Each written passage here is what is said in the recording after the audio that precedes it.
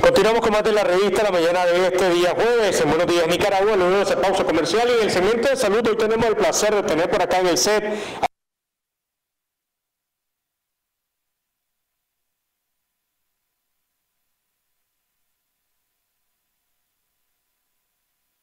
acerca de ello. Buenos días, doctora. Bienvenida a la revista. Buenos días, muchas gracias. Bueno, hablemos por favor acerca de, de lo que es el control prenatal, la importancia de esto, que obviamente esto le permite llevar una vigilancia, llevar una seguridad, el conocer el desarrollo y el proceso. Háblenos de esto, por favor. Correcto, el control prenatal son las visitas programadas que toda mujer que se encuentra embarazada debe programar, para la redundancia, con el proveedor de salud. Es decir, en este caso el ginecólogo, o en algunos lugares es realizado también por el médico general o la enfermera. El objetivo de este es que nosotros podamos identificar de forma temprana cualquier factor que nos pudiese complicar el embarazo, es decir, desde el punto de vista de salud de la mamá y de la salud del bebé. Ok, es muy importante porque aunque nuestro medio debe decir, pero es algo obvio, que muchas mujeres faltan a ese control y, se saltan los controles por tiempo, trabajo, distancia, se les olvidó. Pero no conocen que esto obviamente te permite llevar una vigilancia adecuada y saber el desarrollo, eh, el medicamento, lo que tiene que tomar, si tiene que descansar, todo un proceso. Esto le permite obviamente a, la, doctora, a la ginecóloga, el poder darle esa atención de inmediato por diferentes circunstancias. ¿Por qué faltan a mujeres muchas veces este control, a los controles prenatales? Eh, generalmente es porque subestimamos el poder que tiene la prevención. Así es. No únicamente en detectar una posible complicación en el embarazo, sino en general. Eh, a veces tenemos una idea errónea que es más fácil curar que prevenir y en realidad no es así. El objetivo del control prenatal es que la mamá y el bebé puedan llegar al término del embarazo ambos con una buena salud y que al final pues se pueda, eh, se pueda conseguir que el binomio madre-hijo eh, se desarrolle plenamente. Y esto confiando de que la, mujer embarazada se dé cuenta en los primeros semanas, obviamente que ya se se da cuenta a los cuatro o cinco meses, pues obviamente tiene que haber un, un mayor control muy riguroso. Y, imagino que esto haría, pues lo que nos ha tocado a veces eh, vivir embarazo, y le digo así porque como esposo, o usted esposo, usted también está embarazado cuando su esposa está embarazada. Así es. Eh, complicado, las visitas a la ginecóloga no dejan de ser eh, una vez al mes, o no, esto ya varía, se puede convertir en una vez a la semana, una vez cada 15 días, por la secuencia del monitoreo hacia los latidos del corazón, hacia el crecimiento y el desarrollo que va llevando el bebé eh, en, la madre, el cómo está la madre. O sea, todo esto es debido al control prenatal. Es correcto. Nosotros en cada control prenatal clasificamos el embarazo en un embarazo de bajo riesgo, es decir, donde no encontramos ningún factor que nos pueda complicar el curso o la finalización del embarazo y aquellos que son de alto riesgo. Entonces, en dependencia de la clasificación que nosotros hagamos en cada control, porque en un control el embarazo puede ser de bajo riesgo, al inicio, por ejemplo, ya si va el tercero o cuarto control identifico hipertensión o identifico diabetes, esto ya me transforma el embarazo en un embarazo de alto riesgo y por ende tengo que hacer las visitas prenatales un poco más seguidas. Doctora, estamos en un país donde la cultura, la tradición, donde eh, el pensamiento de la abuela, la parte familiar, eh, a veces pesa mucho más que el pensamiento y la idea de un, especialista en la materia. Y entonces eh, muchas veces le dicen, no te preocupes, va a ser niña por la forma de, la barriga, es que la, siento que está abajo, colocada, tranquila, ahí va a colocar, ahí va. No, todo esto es importante el poder conocerlo y el poder visitar. Muchas veces en esta parte de las tradiciones, no en la tradición, en esta parte muy tradicional o cultural, desde lo que piensan las abuelas, eh, dejan de ir y no se dan cuenta si le hace falta, obviamente, eh, el posicionamiento, el saber dónde está, el, porque visualmente no se puede dar cuenta cómo está colocado el bebé, aunque muchas por experiencia pueden decir que lo saben. El control prenatal no solo es, como usted decía, el hecho del desarrollo de ver, de identificar, es también la parte emocional, es también ir controlando eh, la parte alimenticia, es ver todo muy integral. Exacto, y también aclarar dudas que siempre se dan a lo largo de toda la gestación. Incluso no solo en mamás que ya han tenido, no solo en mujeres que han tenido experiencias como madres a través de un embarazo y al final que hayan terminado en parto cesárea, siempre en todo embarazo, como cada uno es diferente, siempre se generan dudas y ese es el objetivo del control, eh, aclarar las dudas que puedan tener las pacientes. A veces son dudas que para nosotros pudiesen ser, pudiesen tener una respuesta muy obvia, pero en el embarazo todo cambia. Por ejemplo, doctora, ¿puedo tener relaciones sexuales?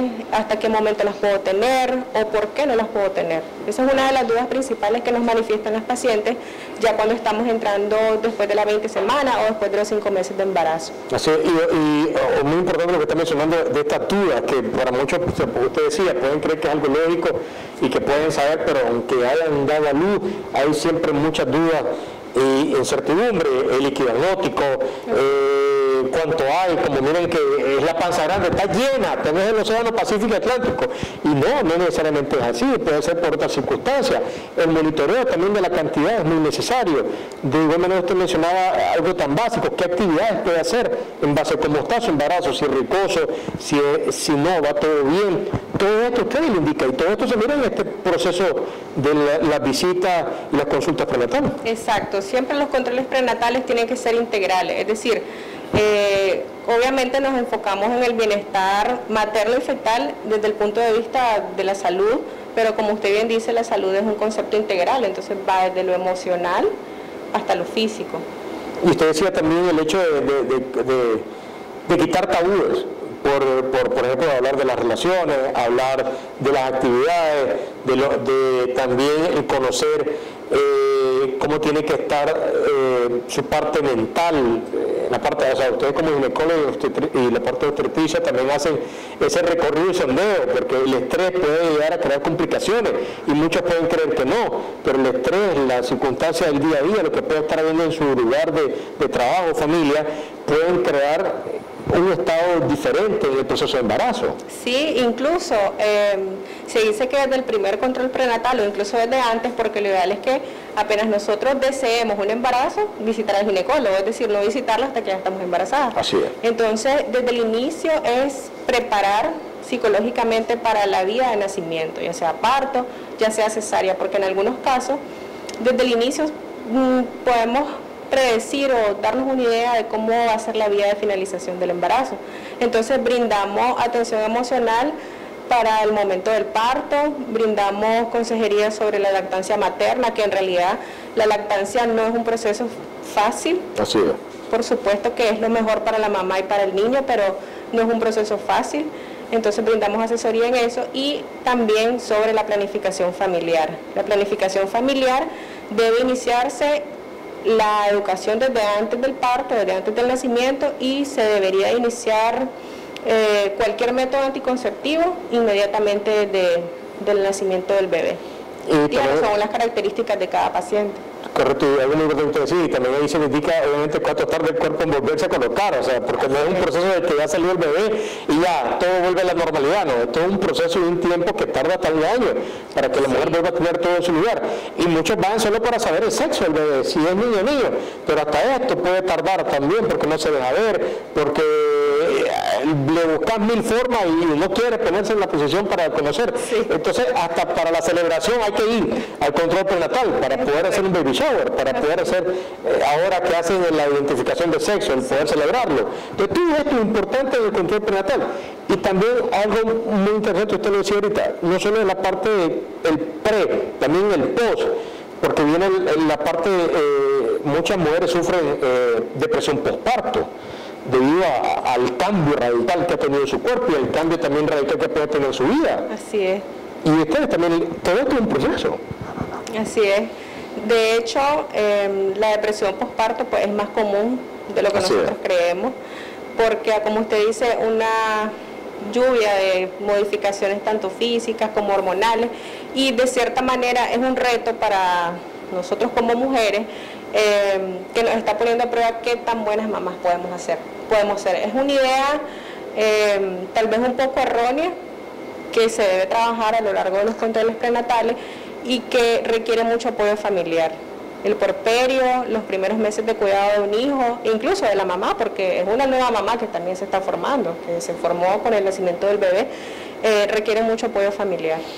Y, también algo que obviamente muchas personas no les gusta tocar, pero también es saber de que cuando lamentablemente el bebé no se ha desarrollado, porque ya viene una precondición de que lo que la vive la madre, alcoholismo, si llega, si, o el padre, pues, alcoholismo, o adicción, o muchas circunstancias, ya viene creando una condición cardíaca, desarrollo de los órganos, y todo esto se ventila y se visualiza dentro de los controles prenatales. Es, muy importante también eso, el poder llevar a cabo esta visita continua. Ya nos quedan dos minutitos, doctora. ¿Cada cuánto tiene que hacer un control? Yo sé que va en dependencia de cómo se da la gestación, pero normalmente eh, supongamos que es un embarazo de bajo riesgo, son mínimo cuatro controles prenatales.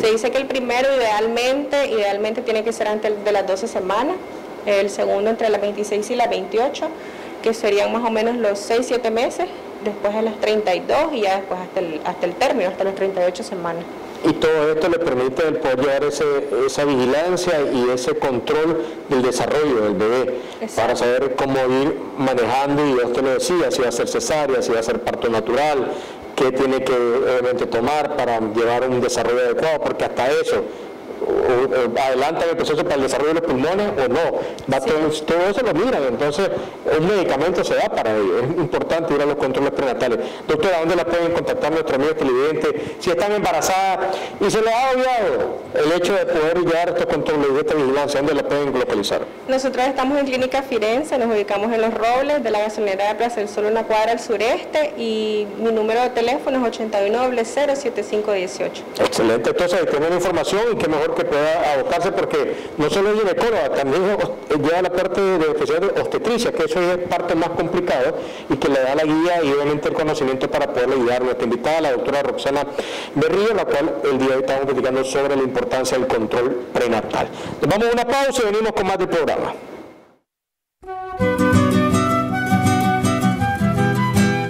Reconocimientos, denuncias, quejas y sugerencias envíelas a Canal 12, programa Buenos Días Nicaragua, Residencial Bolonia, o llámanos a los teléfonos 2266-0691, 2266-9983, 2266-9984. Escríbanos a nuestro correo electrónico canal12 arroba canal12.com.ni.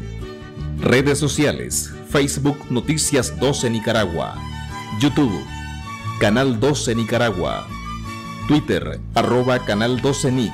Visita nuestro sitio web www.canal12.com.ni.